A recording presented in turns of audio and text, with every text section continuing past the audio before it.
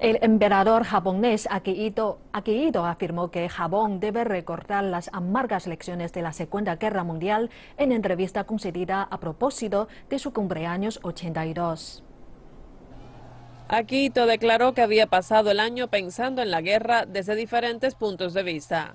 Agregó que era extremadamente importante ser absolutamente conscientes de la guerra y profundizar el pensamiento del pueblo a medida que aumenta con el paso de los años el número de japoneses no familiarizados con el conflicto bélico.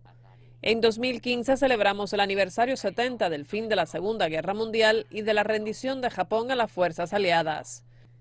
En ceremonia celebrada el 15 de marzo para conmemorar la efeméride, Akito confesó su profundo remordimiento por el conflicto. Esta fue la primera vez que Akito utilizó estas palabras en el acto conmemorativo anual de la fecha. CCTV, en español.